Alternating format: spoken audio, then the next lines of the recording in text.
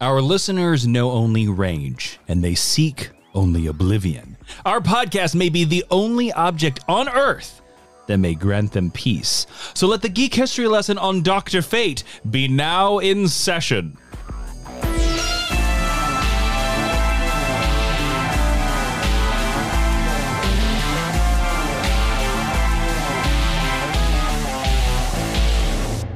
Hello and welcome to Geek History Lesson. I am Jason Onks Inman. I'm Ashley Victoria Robinson. Welcome to your Mind University because you have stumbled onto the podcast where we take one character, construct, or mystical being from pop culture and teach you everything you need to know about them in about an hour. And today we are doing a lesson on a James Bond.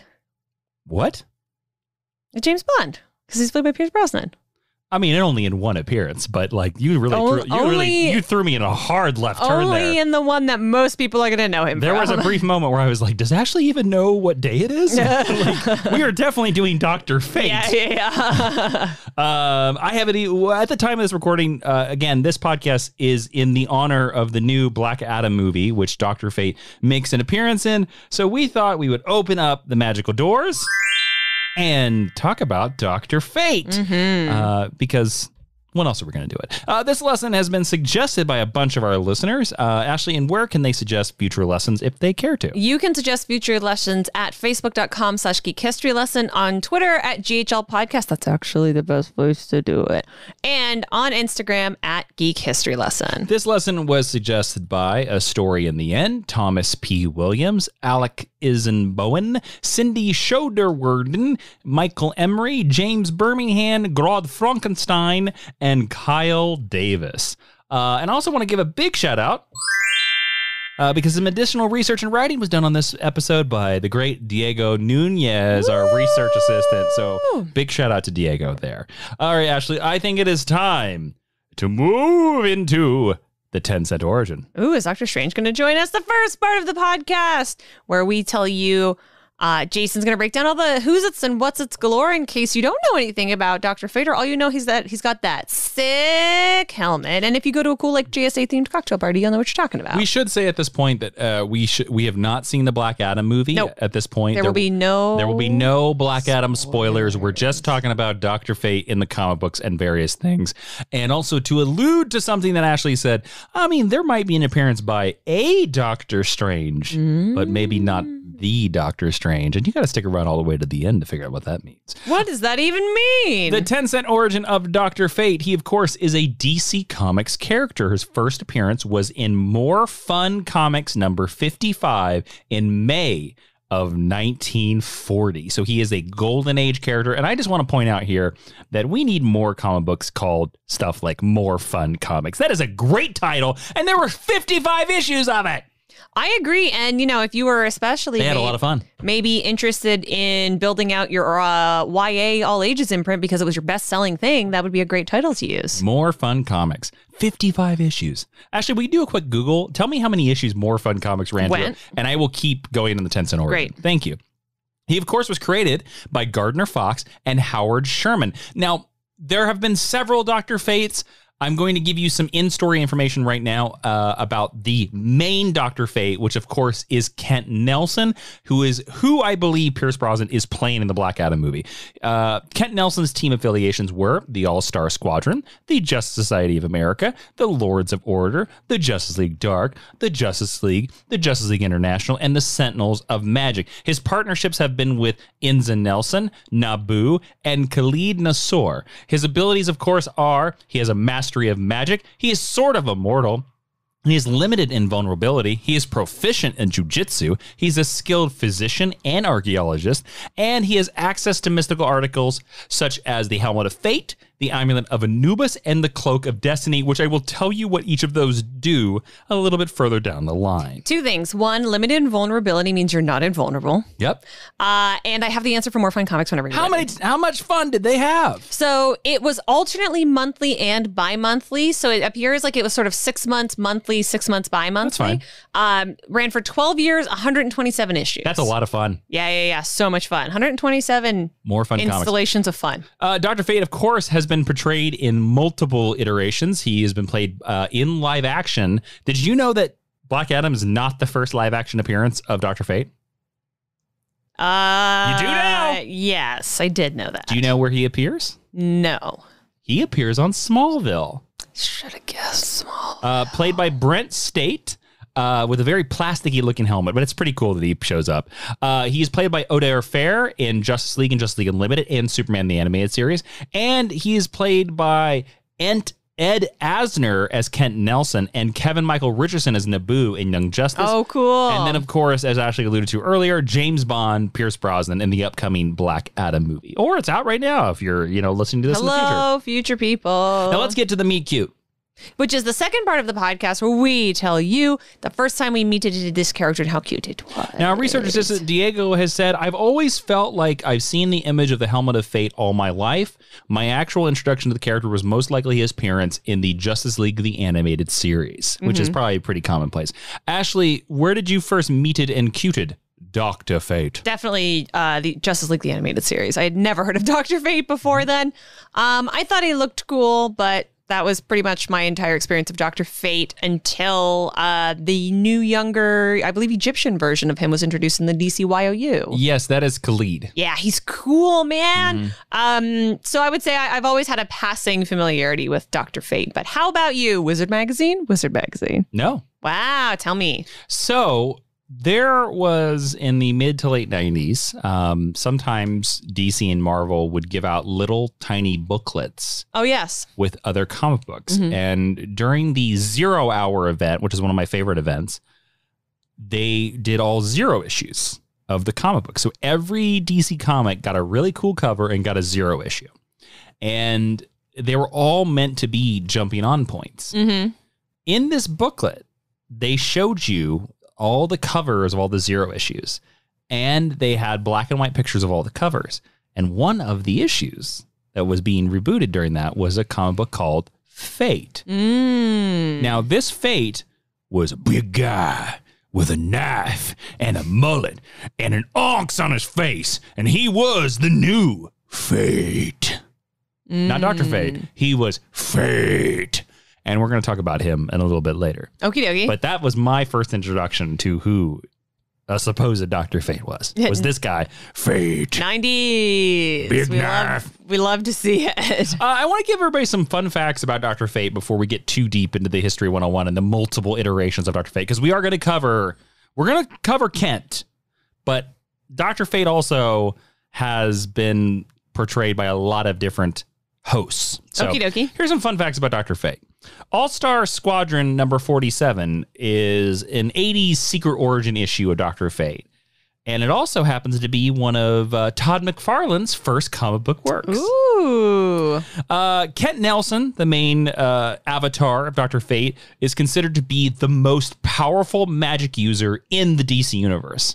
Although his wife, Inza Kramer, who we're going to get to, is considered to be more talented as a magic user than Kent. Now, I just want to say, Ashley, Typical wife. I mean, d- does a doctor who is considered to be the most powerful magic user and his wife, who considered to be the most talented, Mm-hmm. seem kind of familiar? I don't know. I maybe I'm looking into stuff. yeah, you might be reading it a Yeah. little too much. Uh, Isna, his wife, uh, Inza, excuse me, who has been you know known throughout the golden age as Inza Kramer, Inza Sanders, and Inza Kramer Karmer again, uh, finally was settled on as Inza Kramer in the Silver Age. So Okey-dokey. they could not decide what her last name was throughout the golden age, and nobody cared. And also, sadly, uh, Kent Nelson is allergic to bees. Fun fact.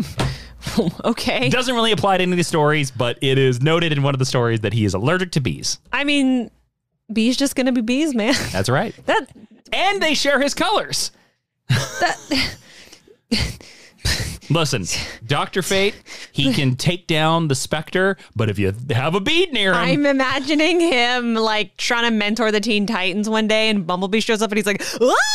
and just like runs for the hill. And she's like, what? and then like this dude has literally fought the specter to a standstill. And he's like, ah, bees. He's like, ah! I mean, I guess not to like dunk on the I'm allergic to bee representation in comics, but like, okay. Yep. So there you go. That There- is a fun fact. there That you is go. truly a fun, delightful fact. All right, so let's get into this History 101 section on Dr. Fate. We're going to dive deeper into Dr. Fate. We're going to have a great conversation. Again, we're covering multiple Dr. Not just Kent, but we're going to talk about Kent the most because he's the guy in the Black Adam movie, as far as I know. Uh, eh, but we just want to throw out there, we're also going to cover some of the most powerful magic users in the DC universe. That is this week's Geek History Lesson extra episode over on the Patreon. We're going to rank the most powerful magic users in the DC universe. It's a lot like this uh, episode of Except We Curse. So if you want to hear that, head on over to patreon.com slash Jawiin. That's J-A-W-I-I-N. Uh, we have four bonus episodes of Geek History Lesson Extra every single month. We do Marvel Club and we do two episodes a month of Jason and Jeremy John about Justice League. So if you want to hear lots more podcasts, that's where you want to. Also, that's where you get ad-free episodes of Geek History Lesson. You don't hear commercials during Geek History Lesson, that's where you go. So uh, I just want to throw out final month of Marvel Club is this month. Yeah. It's your last chance to sign up for the special offer and get the Sarah Lover Miles Morales Spider Man print that completes the tri image art prints of Doctor Strange, Thor, and Spidey. Looks absolutely magical. That is for everybody at the Marvel Club level and above over at the Patreon. So check it out at patreon.com slash Jawiin, J A W I I N. And thanks to all the super friends that support us over there. Can I uh, interject very quickly? I just Googled the Dr. Fate Smallville to see what the costume looks like. Yeah, what do you think? He looks awesome. He looks pretty good. When- In live, when you see him moving around, he looks a little plasticky. Um, he has a very prominent cod piece. Uh, you can tell the helm is made of plastic, but it still looks pretty Mm-hmm. cool. And he's from uh, Absolute Justice, which I've actually seen and is uh, a pretty good episode. It is a, it's, with Stargirl. Might be the best episode. As well. Yeah, yeah, yeah, So I was uh, I was pleasantly surprised with how cool because you know about half the time you look at Smallville costumes and you're like, how street level is this going to look? I and he looks pretty cool. He does look pretty cool, and I he is he's very short, the actor, but he does a pretty good job. If I remember right, Short I, king. I want to say in that episode, uh, Doctor Fate brings them to Clark because Doctor Fate has seen the destiny of the world and knows that Clark's going to be the world's greatest superhero. That sounds right to me, think so. but it's been years since I've seen that episode. It's a good episode. Anyways, let's talk about Doctor Fate. Let's. Doctor Fate is a legacy character. What does that mean, Jason? Well, it means that there has been more than one person under the mantle of Dr. Fate. There have been a total of eight different characters that have been Dr. Fate, but we're only going to talk about the most important ones. Just to let you know, Dr. Fate is actually an entity that emerges when the wearer puts on the helmet of Naboo. He is an agent for the Lords of Order in the battle against the agents of chaos with the use of magical enchanted items, as I said before. The Lords of Order, just to let you know, are powerful magical beings who manifested themselves as the first sentient race in the universe. They are a race of incorporeal magical beings who represent, you guessed it, order. They, Whoa. by the way, their favorite show is Law and Order. You should just know that. They love the dun dun. Dun dun. Anyways, they bestow their nearly limitless power onto their selected agents to serve on their behalf. Now, some notable other agents of the Lords of Order, of course, like mm-hmm. Kent Nelson, Dr. Fate, have also been Dove of Hawk and Dove, mm. the Phantom Stranger, Lord Amethyst, and even Power Girl. Who is Power Girl, Ashley? Power Girl is the uh, Earth 2 most of the time uh, counterpart of Supergirl. Yes, she She's is, great. she's Supergirl grown up, basically. Yeah, Karen. Starr. Now, the Lord of Order, the Lords of Order serve as a deterrent against the Lords of Chaos, who of course represent Hey, that chaos. makes sense. and they, these act as the avatars of change during the ninth age of magic in the DC universe. Uh, the Lord of Chaos, their ultimate goal is to bring about Kali Yuga, which is a term to describe a time when chaos reigns supreme. How does it spelled? K A L I Uh huh. U, excuse me, Y U G A. Interesting. I was just wondering if it was a take on Caligula, but it seems like maybe not. I don't know. That's okay. Okay. The agent some of the agents of the Lord of Chaos have been Klarion the Witch Boy, I love him. Hawk of Hawk and Dove, Yeah, yeah, that makes sense. Eclipso, yes. and a character known as Anti Fate, who we will talk about later. Okay, that seems like a lazy naming convention. I can't wait. Well, Anti Fate shows up in the 80s, so there you go. Oh, okay, okay. Uh, most of the Lords of Order are immensely powerful entities that are made up of in, of energy. They consider themselves beyond sex and form, which seems kind of boring if you think about it. And they rarely manifest into any physical form. In fact, it is said that the Lords of Order do not engage in procreation, believing procreation to be an act that invites chaos. I mean, if you've ever listened to Grant Morrison talk about chaos magic, maybe. now, Ashley, I want uh, to ask you. Yes. Do you think you would be chosen by the Lords of Order No. or the Lords of Chaos? The Lords of Chaos. Well, why? I'm a disaster. They'd be like order. It's it's why the same reason why I don't think I could be a Jedi. Um, I you heard Ashley say it here first. I don't think I have the discipline. I did not say it. Ashley said it. Or the or the structure.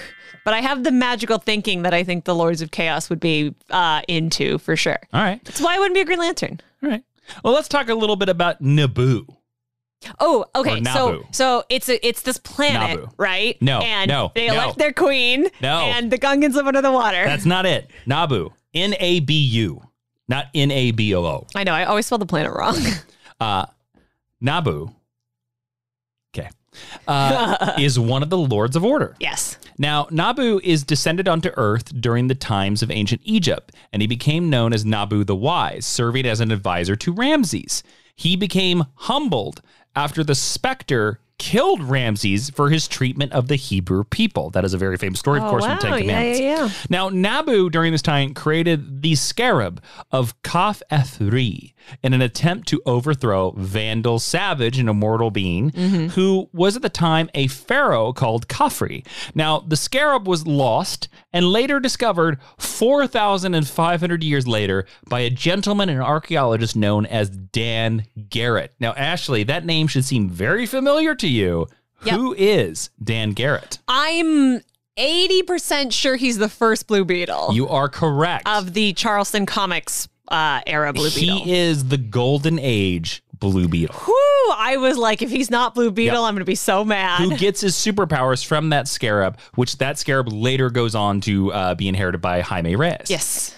Now, Nabu was on hand when a Thanagarian starship crashed, and he recovered a portion of the anti gravity metal named Nth metal. And Nabu and his ally, Teth Adam, used Nth metal to forge a gauntlet called the Claw of Horus. Now, Teth Adam goes on to become a pretty important person in the DC universe. Or as Dwayne Johnson would put it, he becomes someone who would change the hierarchy of power in the DC universe. It's Jason's favorite catchphrase of all time, if you can't tell from his tone. Such a lazy catchphrase. I don't understand. But actually, who is Teth Adam, just in case the listeners don't know? Black Adam with the pointy ears. And I think we should go ahead and announce it that next week's GHL is going to be about Black Adam. Spoiler. So there you go. So if you want to know more about Black Adam, we're going to talk a little bit about him, but this is about as much as we're going to touch on him here. I think that's fair. So Nabu with the alloy of the nth metal, and we should know that the nth metal of the Thanagarians, they're hawk people. They're the Hawkmans. Yes. They're caca. That's what they make. Sure. Yes. Every time he goes, "Hello, Cher, my love," caca. Sure. Yeah, that's why they haven't made a Hawkman movie so far. I don't know if you know this. The reason why Hawkman hasn't appeared in the Justice League because they don't want to have scenes where they're like, "Hello, Superman," caca.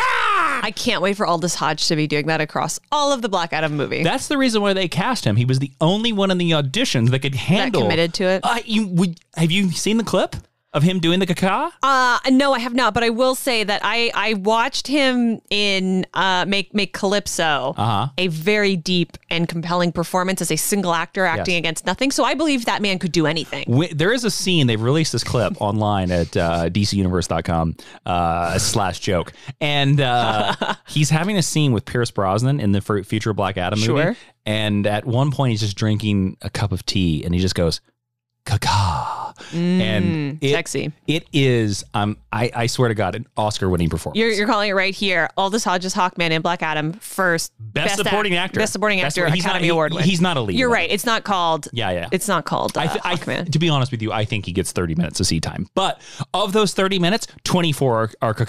Wow. Wow. Yeah. That is dedication. Yes, I think it's an Oscar. You know, I would not have credited uh, Geoff Johns with writing something so experimental. I can't wait to see it. Yes.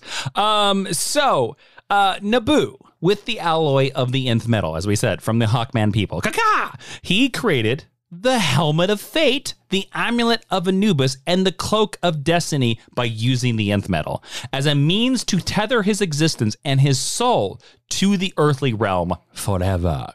Now, his power was imbued in these objects and were meant to, uh, those who were worthy were meant to, when they had these objects, to serve the Lords of Order with his power. Now, initially, the helmet served as the housing for Naboo's soul after he passed, and it would typically allow him to possess the wearer. And over time, he was restricted eventually to simply advising whoever wears the helmet. And now, Ashley, Yes. we have to get to the most important question I have ever asked you on this project. Uh, excuse me, this project and this podcast. But first, this. Okay, Ashley, here is the most important question that I have ever asked you in over 430 episodes of Geek History Lesson. Are you ready? Probably not. Do you think the Helmet of Fate looks cool? Yes, it looks so cool. It's so stupid. I love it. it's so. It's so stupid you love it. Look, there's a. Superhero costumes are a really fine line. Mm-hmm. And there is a line where they cross so far into stupid Mm-hmm. that they become cool again. And that is what the helmet of fate is because it's utterly impractical. You wouldn't be able to breathe in there. You'd Mm-hmm. be smooshing your nose. Mm-hmm. You'd be sweaty. It would be stinky in there. But People on- wouldn't be able to hear you either. you wouldn't be able to hear nobody. Yeah.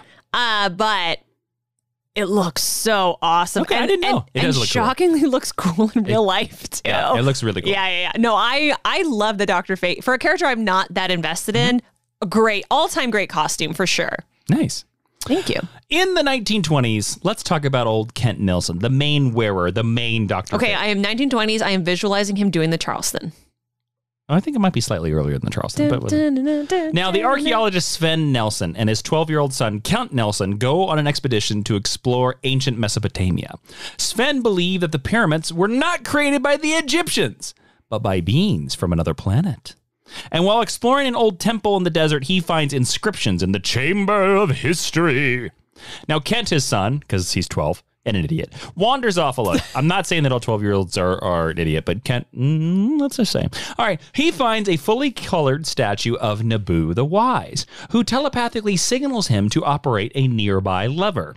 And this lever brings Naboo back to life, but also accidentally releases a poisonous gas that floods the outer temple. As a result, this poisonous gas kills his father, Sven. That's why you don't bring children on archaeological digs. That's right. all I'm They're saying. just pulling levers. Now, in repayment for Kent releasing him, Naboo promises to teach the child the secrets of the universe. And it has later been suggested that Naboo manipulated the situation to his advantage. Of course he did. I was like suggested. I was like not accepted. Well, let's just say that Kent doesn't discover that fact until several years later. Sure. Kent is just like he's 12. He's like, "Oh my god. Oh god, in front you're going to give me a magical powers? Oh, my dad's died. Don't worry, I shall take care of you." Okay, I guess that's okay. Pretty cool cape. You're not going to make me say caca every 5 minutes, are you? No. I do love a cape. Yes. Um so he sought out Kent it has later been just again, like I said, Naboo manipulated the situation to take advantage of this 12 year old boy so that he could take him on as his apprentice. As you're going to learn throughout this lesson, Naboo is pretty cruel. Mm. Okay. So Kent would serve as an agent of the Lords of Order in the never ending battle against the Lords of Chaos. And eventually, Kent would grow up. He would grow fond of Naboo, viewing Naboo as the father he had lost. And Naboo ra- basically raises Kent. It's probably Naboo but I'm, I just like saying Naboo. Uh, Naboo uh, uh, rapidly ages this young boy into a young adult, and he teaches him skills such as levitation and telekinesis and the Charleston. And he was even able to put Kent's aging to a halt so that he could stay a young man forever. And when Kent was ready, he was given the Helmet of Fate, the Amulet of Anubis, and the Cloak of Destiny to become Doctor Fate. Sounds a lot like what Doctor Strange wears. A little bit.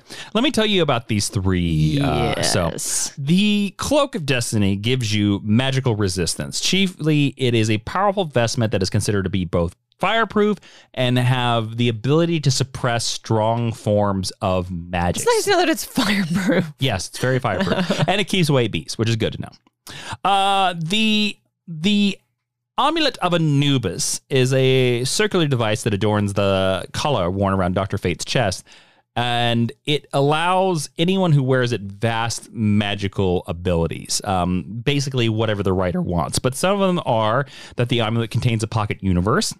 It has been known to house souls. It can create a mystical beam. It can protect uh, the wearer from magical detection. It can enhance sorcery, and it has telepathic resistance. And then, of course, there is the Helmet of Fate, which contains the entire knowledge and magical repository of the being known as Naboo.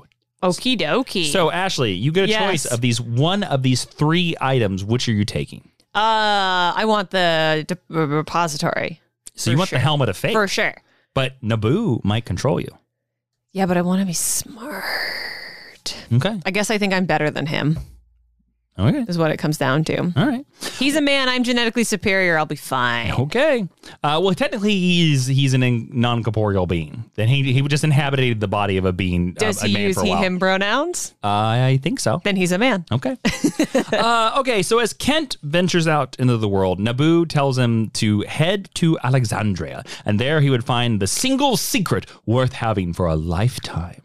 On his way, Kent veers off as he's drawn towards some evil entity, and he comes across a vehicle turned on its side with a corpse laid out. And when he investigates, he starts to get in tune with different auras, mm. and he uses a spell to show him that the presence of the aura he is sensing, and he is shown a woman named Inza Kramer.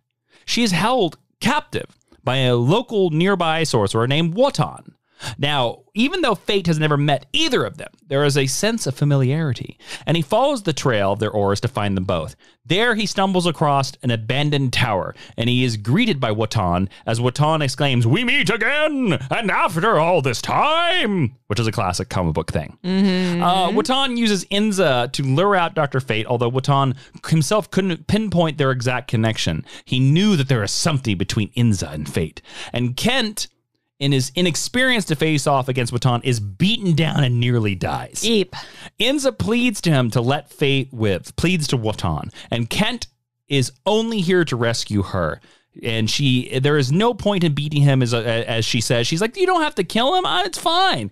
Um, but it is said here that because she has a blind belief and blind compassion in Inza, um, that it actually combines their magical powers and allows them to. It supercharges Kent and allows them both to beat Wotan and hmm. defeat him. After winning the battle, Naboo is ready to wipe out Inza's mind from all these recent events. And Inza pleads and says, Yo, let me hang out with you, Dr. Fate. It's all good. Because she knew underneath the helmet there was a young man who needed to be anchored to humanity and not anchored by a lord of order. And I bet she thought he was a cutie pie, and that didn't hurt either. Well, that's true because the two fell in love and they soon got married. That's nice. Yeah. Did they get married in the dark dimension? No, there is no dark dimension in the DC universe. Well, that's where all the lasting magical marriages happen, as we know from this podcast. Uh, so now we have a wizard, and we have his white-haired future wife Mm. fighting magic again. Mm. Sound familiar? Mm. In interesting. So Doctor Fate, not a real doctor, establishes his home base, the Tower of Fate, in Salem, Massachusetts. Hey, I mean, if you're going to do it anywhere in these United States, I guess that's the place, huh? Inside this tower, contains valuable magical artifacts and tomes, and it is actually unknown how many levels it has, but it has no doors and no windows, and only Kent and Inza can enter and leave freely. If Sounds anyone, like my dream home. Mhm. if anyone or anything enters the tower, they can only leave physically by touching the Nelsons. Interesting side note uh, for Inza to have the ability to enter and leave the Tower of Fate, Dr. Fate cast a spell over her, essentially giving the tower the impression that she was Kent. And when doing that, it also directly affected her and stopped her aging just like Kent. Oh, that's interesting. I kind of assumed that because they were married, and they were, you know, like spiritually bonded or whatever, that that might be enough. Um, but okay, the man is the one who can open the doors. Great. I like the idea that you have to touch one of them to be able to enter or exit. So if they get pissed off at you, they can just shove you and you're gone, which we've actually seen happen and you can be times. lost in the Tower of Fate forever. Yes, yeah, yeah, yeah. That's that's happened. Um, it becomes like it's like one of the paintings with the upside down stairs. What do you- Yeah, is uh, an Escher? uh, an MC Escher. Yeah. Yes, there yeah. we go. Uh, now, Kent Nelson became a founding member of the Justice Society of America, which was the team for the Yes. Justice League. And at this time, he started to fully understand how controlling Naboo uh, can be when wearing the helmet. And in an attempt to curb that control, Kent cut off the bottom of the helmet. This is the period of time where you see uh, Dr. Fate's little mouthy talking. Yeah, yeah, yeah, Uh, yeah. but this actually deeply affected his magical powers that have them. Uh, and during this time, the Spectre had gone missing. Now, the Spectre is God's spirit of vengeance, which uh, walks around in a green bikini and a green cloak. Yeah, kind of muddles the whole magic when you mix it with religion like Mm-hmm. that. But that is the rule in the DC universe. But Dr. Fate was the first friend that the Spectre made because they were both founding members of the JSA. And Dr. Fate goes looking for him. And Fate finds out that the Spectre had been under the control of Kulak, who is a evil character in the DC universe. And when they get into the battle, Dr. Fate is overwhelmed and has the helmet of fate taken away from him. Mm. It is during this time that the helmet becomes lost in the Netherverse, and Kent takes advantage of the opportunity to retire from being a superhero. He actually becomes a real physician because he's absorbed this knowledge from Naboo. I thought he was not a real doctor. well, he fakes it at this point. Oh, so he's a real liar, but not a real doctor. Yes, he goes and finds somebody to just print out a medical certificate, and he just starts, you know, and he's like, "Oh, I'm a doctor." And Did you also go to upstairs medical clinic? He- yes, he went to the University of American Samoa. yeah. So, uh, but of course, eventually Naboo finds his way ha- back, and the helmet comes back because comics. And Kent is Doctor Fate again. Although it was during some of this time, this time when he got the helmet back, that is proved that is him being Doctor Fate is a challenge for him and Inza because when he acts like Doctor Fate, this is when he starts acting differently when he has the helmet on, and mm. Inza starts noticing, and this puts a strain on their relationship. Now, Ashley, yes. depending on the writer, depends on how differently Dr. Fate acts when he has the helmet on. Now, do you like the idea of Dr. Fate being one person who just has magical powers, or the idea that he becomes a different person when combined into one? Uh, certainly, narratively, it's much more interesting if he becomes a different person when Mm-hmm. he's combined into one. And when you have sort of the push pull of what that means. In the DC universe, we see a couple of examples of this as well. Um, ironically, a lot from other characters that they have purchased from other companies. Uh, Shazam, obviously, being the most obvious one that comes to mind. Well, Young Justice deals with this a lot. yes, yeah, yeah, yeah. Whereas it's funny because I think Just League the Animated Series completely ignores this. Yes, um, and the J, uh, Geoff Johns JSA also deals with uh, Mm-hmm. that, particularly when it comes to Shazam and Billy. So, uh, yeah, I think narratively, I think there's a lot more story potential if that is the case. But I'm assuming in the film that will not be the case. I don't know. I'm assuming he will just get superpowers when he puts the helmet. We on. don't know. And at the time of this podcast, when you're if you've already seen Black Adam, you're laughing at us for whatever we know, and we don't care Yep. Because we can't predict the future. Well, sometimes we can. Maybe we can if we have the helmet of fate. There we go. Anyway, speaking of the helmet of fate, the helmet of fate was catastrophically changed by the events in Crisis on Infinite Earths because there was a fundamental shift that changed all reality. Ashley, what is Crisis on Infinite Earths? Our favorite subject. So in 1985, DC was like, oh, there's so many Earths. And so they created the Anti Monitor, and he went num, num, num, num, num, and ate up all the Earths. And then he farted out only one universe. And uh, most of the characters got a reboot or a streamlining of their origin. Because of the shift in the universe and the multiverse, there was a shift in the balance of magic in the DCU multiverse. Kent Nelson, uh, he and Inza were able to keep their youthful age pre Crisis on Infinite Earths, but post, they were aging rapidly. Whoa. Uh, and later that year, the strain was unbearable on Inza, so she committed suicide. And her suicide What? devastated Kent and nearly caused him to commit suicide as well. But Nabu would not allow Kent to die uh, because he needed a new Doctor Fate because Kent was unable to accomplish the job in his current grieving. Now, Naboo is living inside Kent's body at this point instead of the helmet. And he doesn't have much use for Kent because he's an old man. So Naboo is like, we got to find a successor and we got to find a successor toot sweet because, again, as I said, Naboo is cruel. Mm-hmm. Mm-hmm. Now, we then meet the characters Eric and Linda Strauss. Eric is a 10 year old boy who is looked after by his stepmom, Linda. And Eric had an abusive father, and his mother died when he was young. His father married Linda, who was only interested in him for his wealth. Now, regardless of her intentions as a gold digger, she genuinely cares for Eric.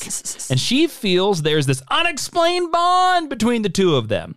Eric's father passes away, and Linda becomes Eric's guardian.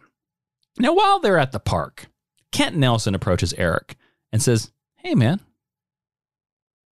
you want some candy? Sure.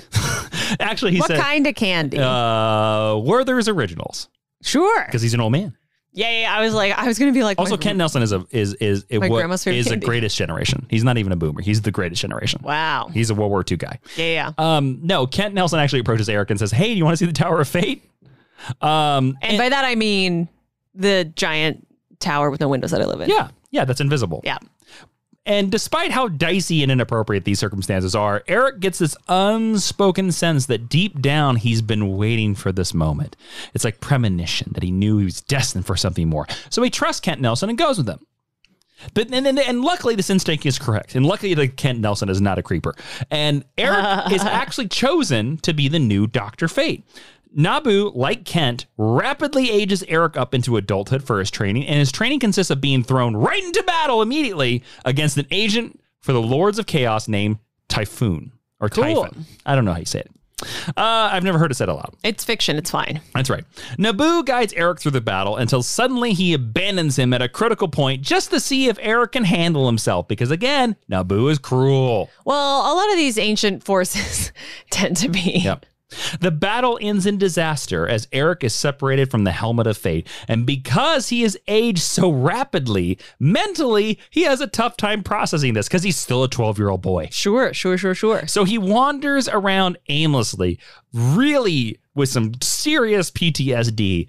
The cops find him, and Eric Strauss is sentenced to live in Arkham Asylum. Okay. Yeah.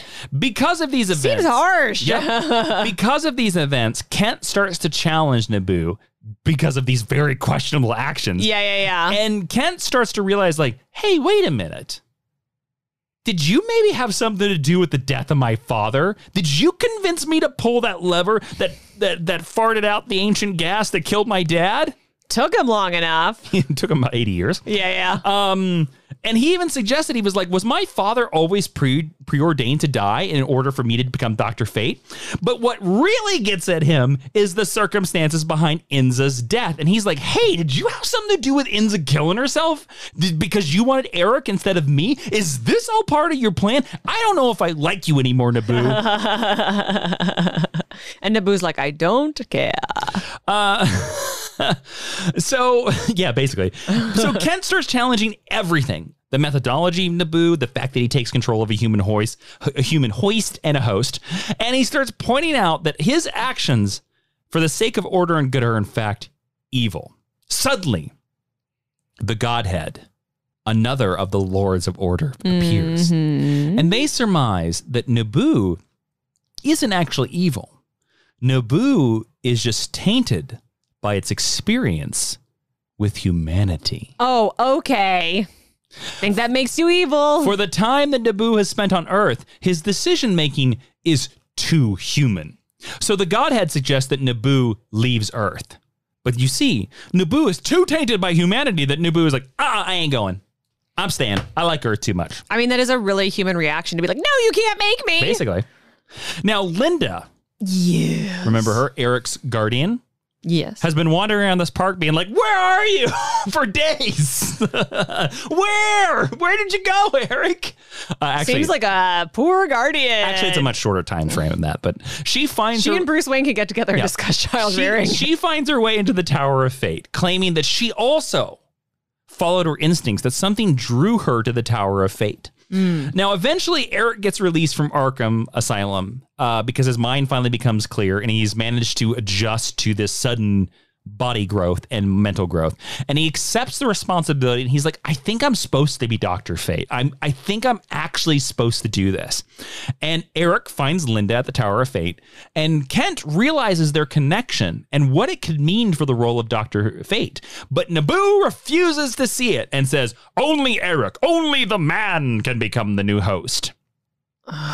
Okay. When suddenly, our new favorite villain and Ashley's favorite naming convention, Anti Fate appears. It's so dumb. Now, Anti Fate, this is the late 80s, by the way. Uh-huh. Anti Fate is an agent of chaos sent to counter Dr. Fate and looks exactly like Dr. Fate, just mixed in with a bunch of Todd McFarlane mannerisms. I'm literally imagining in Scott Pilgrim when he defeats Gideon and then he's like, now you have to fight Nega Scott. kind of, yes. Yeah, yeah, It's- yeah. imagine like A an- dark mirror of yourself. yeah, like it, it's lots of points, a lot of spikes, but I'm gonna literally just look it up. but still like yellow and still has the helmet of fate kind of an idea. Anti Fate DC Comics. Yep. Go on. Now, Anti Fate faces off against the Justice League International because this was the time the Justice League International, which Doctor Fate was a member of, and He looks so Todd McFarlane. Yep. He looks cool though. Very cool. and Anti Fate defeats all of the Justice League International. Yep, yep, yep. And he creates a path of chaos and destruction as he moves towards Egypt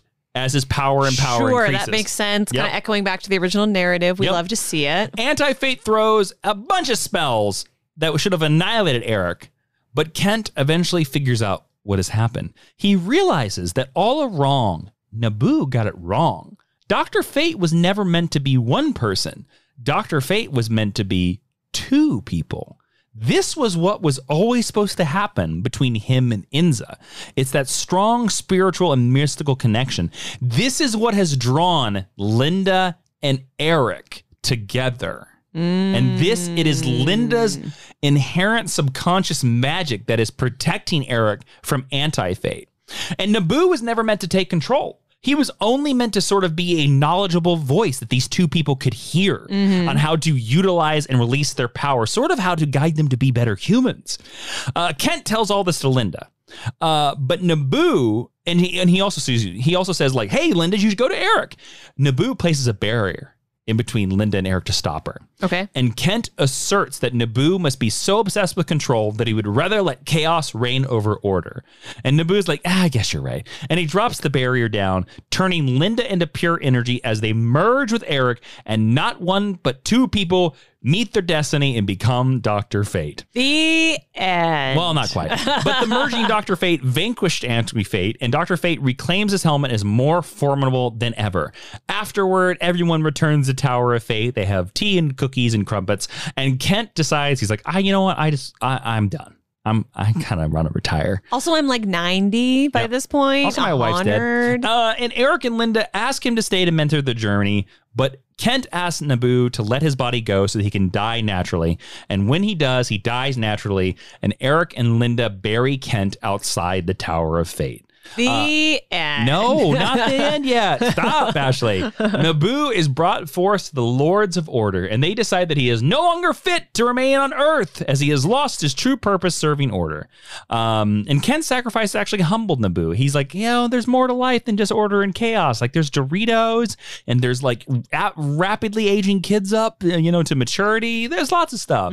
Uh, but Naboo refuses again to leave Earth, and he wants to fight against Dr. Fate. So, or excuse me, he wants to fight with Dr. Fate.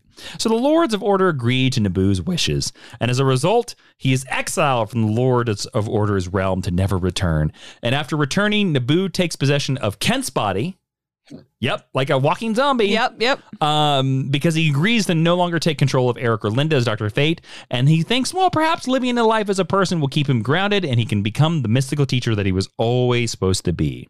So even in death, Kent Nelson cannot rest because Kent Nelson isn't quite done yet, but there are some more Dr. Fates out there, everybody. So just relax and let me tell you a little bit more about them. So from this point forward, the persona and the wearer of Dr. Fate is going to shift a lot. Um, so I want to ask you this, Ashley. What do you Yes. think about Dr. Fate being one of these characters, kind of like Green Lanterns, that there's so many people that are Dr. Fate? Like they're Kent Nelson is the most well-known person, but I'm going to give, like I said, there have been eight Dr. Fates. Uh, there, that's too many. There's Mhm. also too many Green Lanterns. There's too many Earthbound Green Lanterns specifically. Um, I don't. I don't love it. It's fine. Um, but I also think at this point we have this inevitability in DC Comics having been around for 80 years at this point. Like we're going to become saturated with characters. That's the perpetual second act of comics, unfortunately. Mhm. So Eric and Linda, they're Doctor Fate now. Yeah. Well, they die. I Eric- know a real life couple named Eric and Linda, and it really throws me every time you say that. Do you want them to be Doctor Fate? Uh, sure, Let's- fine. Let's call them on the phone. Let's make them the offer. Great. All right. I mean, they're both in their 60s. Well, they're gonna die okay. as Doctor Fate. Okay. That's their. That's their. That's their fate. I'm not as into that, but Yeah. we'll see. Maybe. Uh, but you know, eventually their souls get to reincarnate as a normal couple, so they get to live on their lives normally. Yip, yip, yip. Uh, for a short period, Kent and Inza come back, but in their younger bodies. And only Inza is able to wear the helmet. So this is where we get the female Doctor Fate for a while that you might have Yeah, seen yeah, on yeah, covers. yeah, yeah. Um, we then get to Zero Hour, and the villain Extant forcibly separates the artifacts away from Doctor Fate, robbing their power and condemning both Kent and Inza back to their true age, which at this point would have been around, you know, 90. And uh, I'm just trying to imagine my grandmother with the, with the powers of Doctor Mm-hmm. yeah. Fate. So Kent calls in the assistance of a mercenary known as Jared Stevens to retrieve those artifacts back. Ah, yes, Jared, the name that is always evoked when I think of a mercenary. Yeah. Jared gets the items back, but not before Kent and Inza die. And Jared takes the helmet of fate, melts it down, and turns it into a dagger because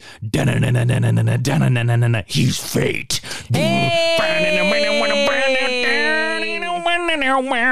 And that's what's called a callback, students. That's right. Uh, so Jared Stevens, fate. It's the extreme 90s. He is cursed with a wicked cool tattoo that allows him to cast magic. And the super new awesome doctor character, he's only going to be known as Fate. He honestly, I've just Googled a photo of him. Looks Yeah. sillier than Anti Fate. Oh, yeah. He has a mullet too. Yeah, and It's like sort of a- half of his hair is red. A jumpsuit. yeah. He's Fate. Very. I don't have a guitar sound effect, everybody. and he kind of has like a bishop like thing, o- like the ankh over his eye. That's how he Very- casts spells. Very silly. Fate, fate, fate. Very silly. Yeah. It's the 90s, baby. Yeah. I, I mean, I, I, Vijay and I both have love hate relationships with Mm-hmm. 90s comics. Yeah. Uh, unfortunately, Jared wasn't cool enough to last because he's murdered by the wizard Mordru. Mordru. Uh, leaving the mantle alone once more. However, Naboo was just sick of the 90s. Yeah. And he reconstitutes the artifacts into a less extreme, uncool original form. So we get the Helmet of Fate again. Yeah. Uh, the next Doctor Fate was claimed by Hector Hall, the son of Carter and Shiera Hall. Okay. They are the original Golden Age Hawkman and Hawkwoman. Hawk people. Yeah. And like his parents, he sort of goes through a cycle of reincarnation. He served as the main Doctor Fate during the JSA series in the late 90s, written by Geoff Johns. Yep. Uh, he has a kind of a cool Egyptian headdress. They're made of like a couple yes. cool action very figures cool. Yeah. uh, of him. Uh, in fact, uh, I think we can pull in one of these. Action figure spotlight. Action figure spotlight. Uh, back in the day, there was a great action figure series called DC Universe Classics, and they made two versions of Doctor Fate. They made the Golden Age Doctor Fate, but they also made Hector Hall, and you can tell the difference. They were variants because the Hector Hall version had sort of the more Egyptian collar, whereas Hector has like the more just normal folded over T-shirt collar, Uh, or uh, I mean, excuse me, a like a formal dress shirt collar. Is Hector Hall this character in Sandman? Hmm. Actually, you might be onto something. Oh, okay. I was like, am I But making a uh, false association? But let's wait on that. okay, great. great, great. Thank you. Uh, but your let's just say your assumptions are correct. Yay, I have Um, a good brain thing. So, again, Hector Hall is the Doctor Fate of the ni- uh, excuse me, the late '90s, early 2000s JSA. Mm-hmm. He is guided by Kent and Inza as spirits who talk to him inside the amulet of Anubis. Uh, and eventually, Naboo comes back, but you know he's of course cruel as always. Right. During this series, Black Adam establishes a stronghold in the nation of Kahndaq, and Naboo takes control of Doctor Fate out of loyalty to Black Adam. Because if you remember, when Naboo was a human, he had a friend named Teth Adam. Hey. Who is Teth Adam? Black Adam with the pointy ears. Yes. So Naboo takes control of Hector to be like, I'm going to go help out my old pal from 3500 BC. Mm-hmm. Yeah, yeah, yeah. He looks like Dwayne Johnson, and apparently he's going to change the hierarchy of the power in something, something. yeah, and Khafre was around and he had a whole pyramid built to him. What Yeah. could possibly go wrong? So, since they were allies in ancient Egypt, Uh huh. um, Hector and the Nelsons sort of become these spirits in the amulet of Anubis, and they have to trap Naboo in the amulet of Anubis to give Hector control of his body back.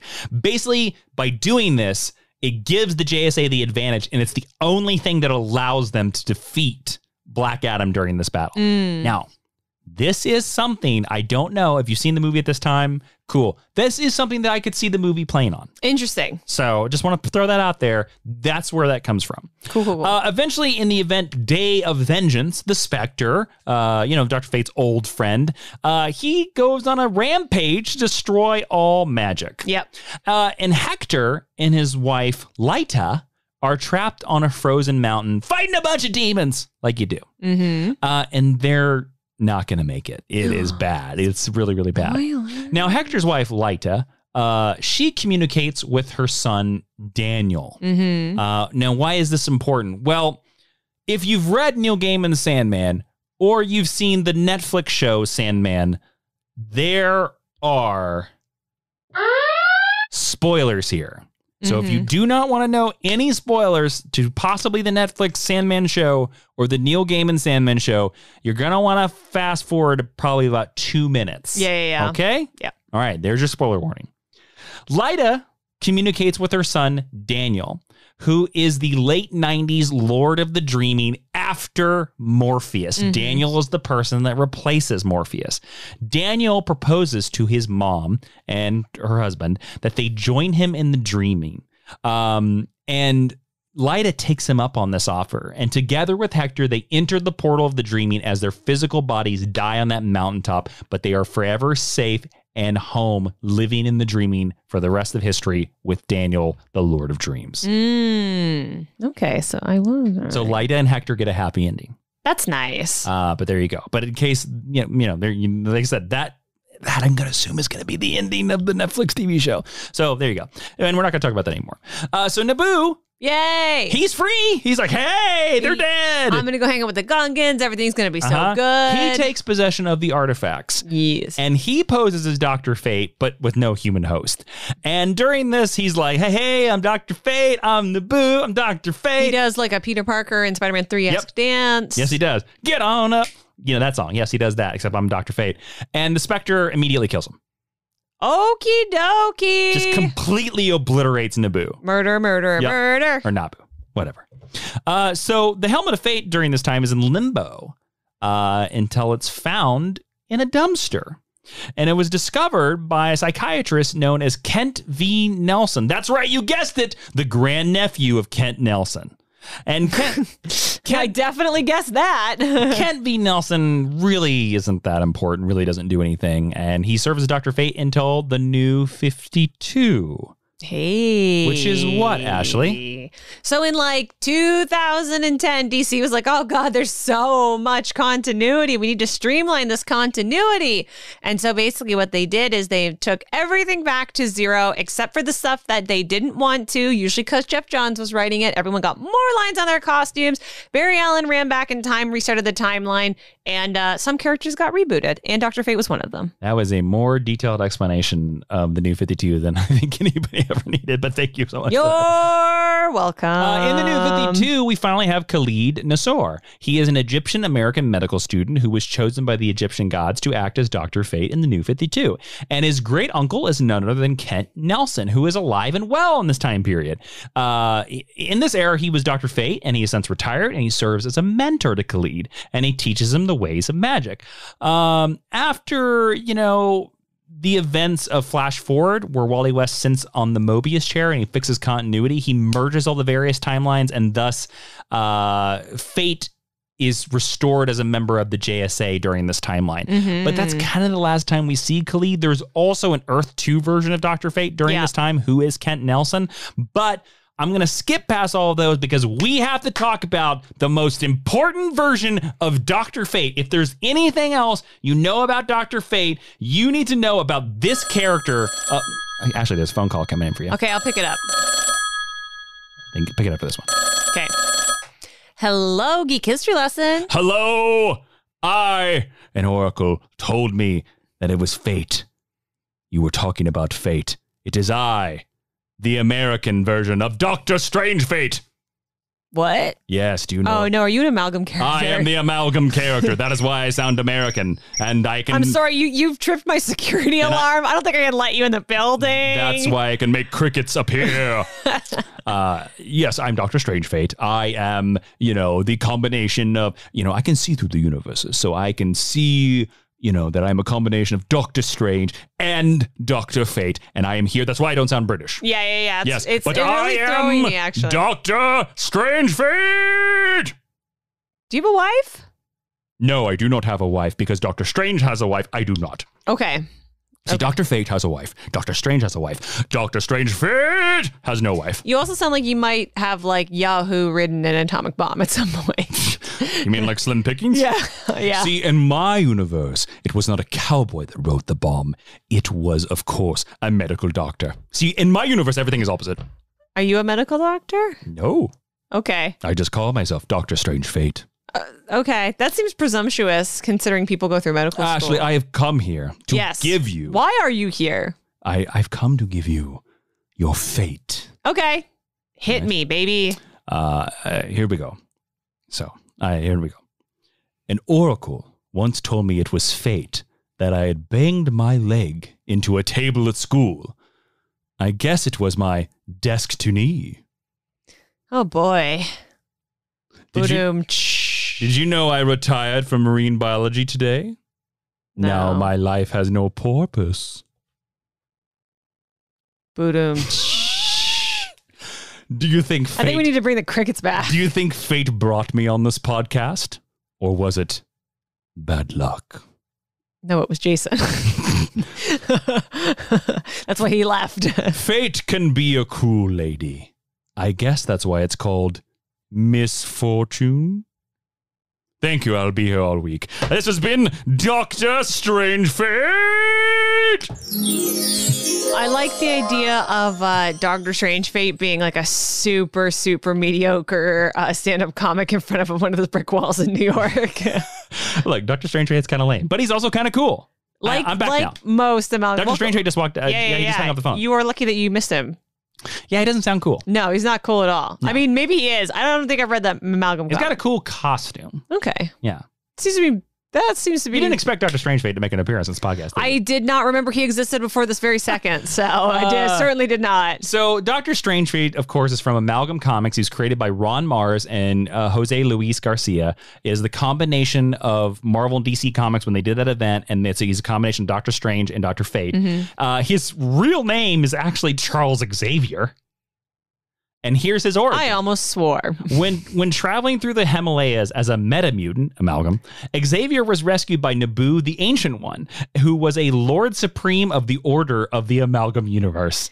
My brain hurts. Xavier was taught the mysteries of the supernatural world, taught to tap into the energies of both the telepathic and the mystical fortunes, for, forces. Excuse me. He's given the cloak of levitation, the all-seeing eye, the staff of power, the helmet of strange fate, and thus Charles Xavier became Doctor Strange Fate. He is also a metamutant telepath, and he soon surpasses his teacher, and he becomes a founding member of the Judgment League Avengers.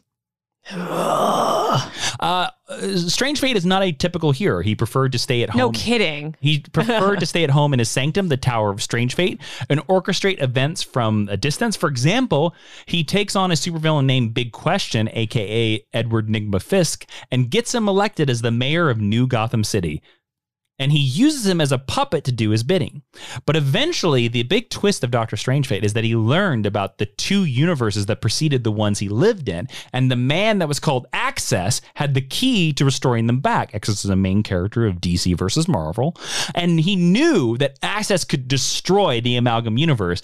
So Strange Fate basically tried to stop him from doing that. But however, the DC and the Marvel universes were restored. But however, Doctor Strange Fate did survive. And his consciousness found its way to become a part of Doctor Strange's subconscious. And usually, when the two uh, when two universes would meet or would happen, you know, in this, Doctor Strange Fate would get to appear again. So he's only Okay. appeared a couple more times. I feel like you, as the person explaining this to me, slash the, the the editors who created this, Yes, took a bunch of words from DC and Marvel, that's exactly right. Shook them up in a bowl, and threw them at the wall, and whatever stuck became this character. Oh yeah. there were just so many words, and I was like, I know what these words mean, but when you put them all together like that, they just don't mean as they just the meaning is lost on me. It, it does get a little bit. It, it a, a little jumbly, yeah, yeah, yeah. yes. Yeah. And it's not because you did a poor job explaining it. I don't mean to. I just mean like it. It, it feels like making him Charles Xavier. That's like a level too deep. Just mashing up Strange and Fate is honestly cool Well, enough, the and the name Strange Fate is cool. And also the costume is really cool because it's the Doctor Strange costume with the with the Oh, I've already helmet of fate Googled on it. top. Yeah, it It's looks really good. great. Yeah. it's one that deserves to uh, I think have a action figure. Absolutely. Yes. Um, but you know, Doctor Strange Fate. Uh, I could not not do an episode on Doctor Fate without talking about Doctor Strange. Well, legitimately, when when else would we ever evoke the man? oh, there's a phone coming in for you, Ashley. Okay, well, you better leave the room so I can pick it up.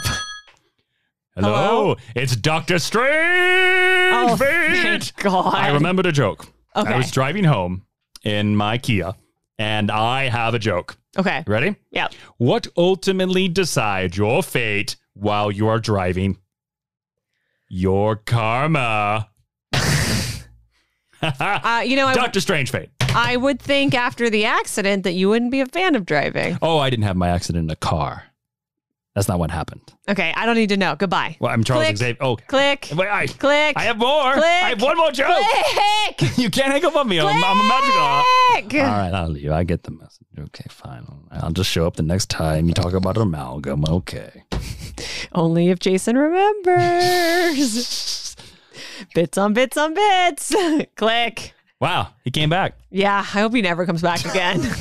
Wow, you hate Doctor Strange Fate that much? My goal for the rest of this year is to start as many fights with recur- with guest characters. Yeah, listeners, if you don't listen to GHL Lecture, you might not know that Ashley currently has a cold war with Tex Willerman going on. I will say, shout out to the Discord level patrons because Yeah. everyone is on my side That's with right. that. That's right. That's right. I am in the right.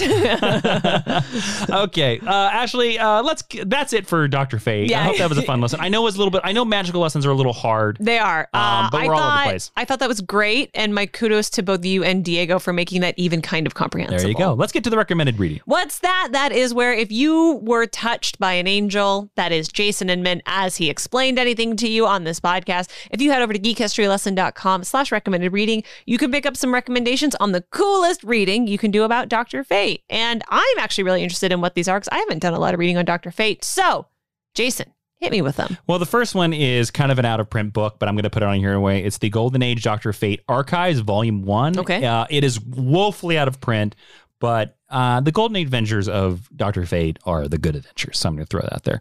Uh, the next one is Doctor Fate Volume One, The Blood Price. Uh, this is Khalid's book. I like Khalid. I do. This is a fun collection. This is the one al- I've read. Also, it's uh, Doctor Fate in a hoodie, which is kind of a cool visual. it is. Um, it's not the best Doctor Fate series, but like I think it's a really smart revamp of the character, and I would totally be fine if like Khalid was the Doctor Fate of the, the DC universe going forward. Mhm. Um, the last one is JSA by Geoff Johns, Book One. Now. This mostly deals with the JSA, and it's not towards the end of this that they start dealing with Hector Hall, uh, Doctor Fate, um, because the new Doctor Fate is created in this book series. So, um, JSA by Geoff Johns is one of the best DC comic series of all time. Absolutely. Um, so I highly recommend it no matter what. You're also going to get lots of Black Adam in there. So I, e- even if this is before the Doctor Fate stuff, read it anyway. Yeah. So there I you would go. I would definitely agree. You will not the wait will be worth it. You will not be disappointed. hmm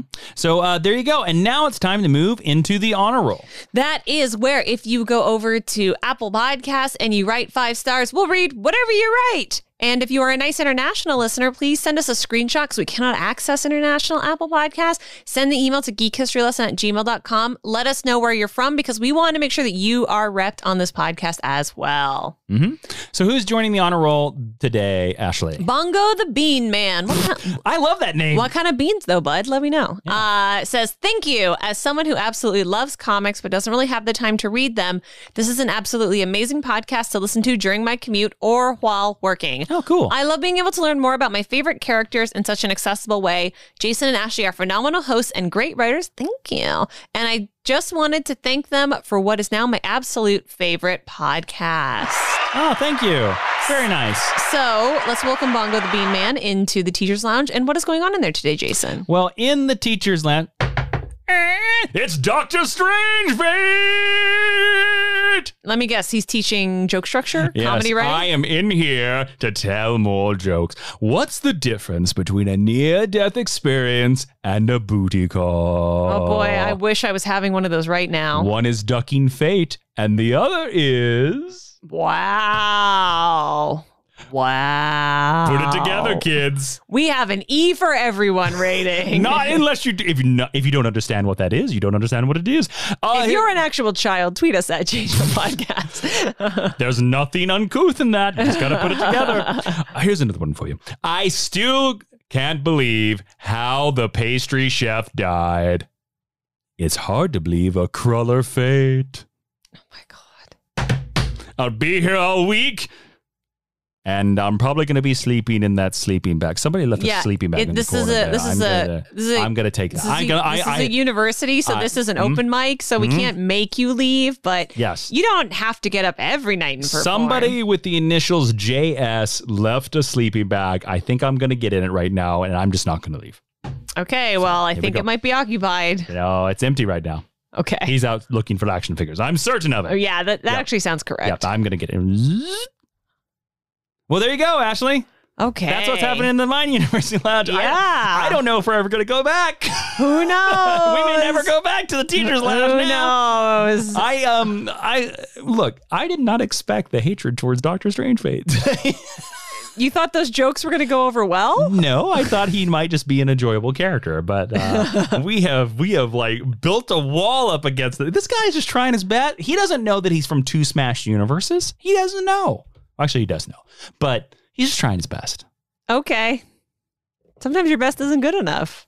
Wow, thanks for that improv. Uh, yes, and Ashley, you can really tell you've taken more improv classes than me, huh? One of us graduated from UCB and one of us is good at improv. That's right. uh, all right, Ashley. Uh, don't forget, listeners out there, you can follow and listen to us and subscribe to us wherever you find us on podcasts.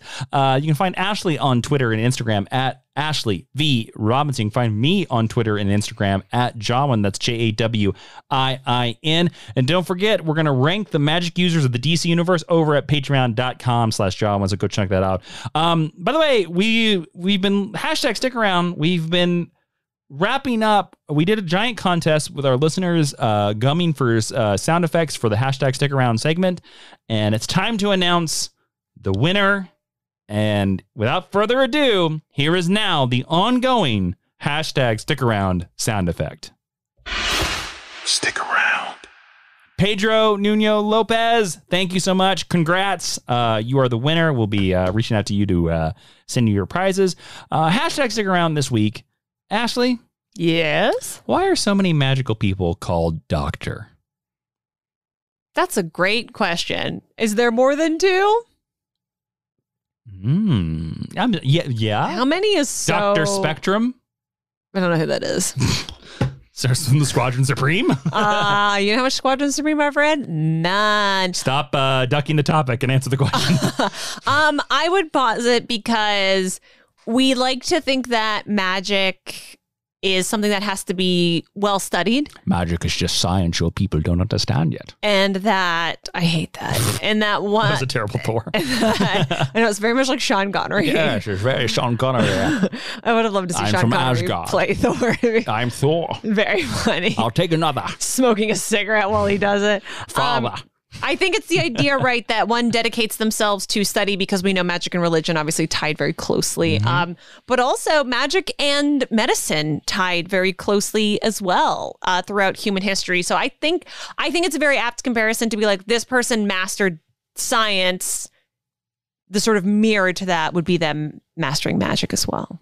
I think it's the opposites attract theory. I think it's the idea of putting something very based in science, mixing it with something very much of chaos. That would be my idea. I think the the question is more why are there so many male magic users when magic is something that's usually narratively very feminine? there are a lot of uh, female magic users. Yes, but all of the They're most not usually title characters. all- that, that is inherent. exactly. That's inherent in the system, though. well, that's patriarchy, isn't it? Yeah. Um, but like you know, Zatanna hasn't had as many series as Doctor Strange or John Constantine. You know, Madame Xanadu, Scarlet Witch. Scarlet Witch maybe might be getting closer now, but yeah, that for me is very interesting.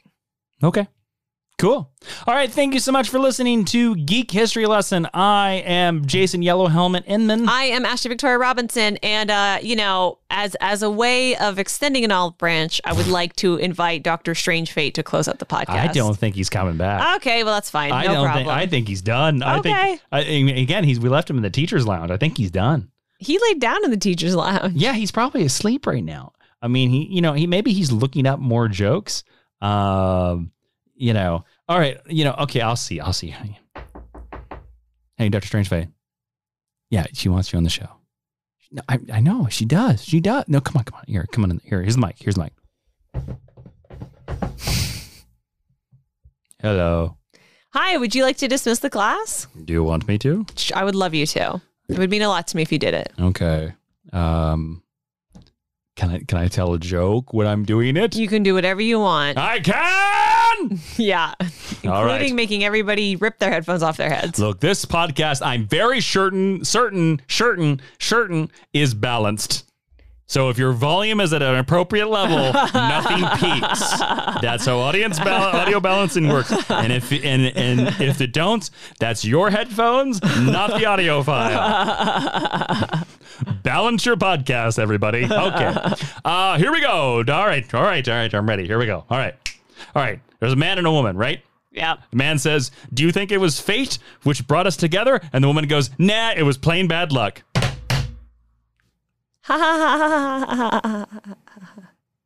Do you, do you want a funny limerick? yes. Okay. There was once a person named Ned who had nary a hair on his head. He patted his pate and bemoaned his fate and went to hide under his bed.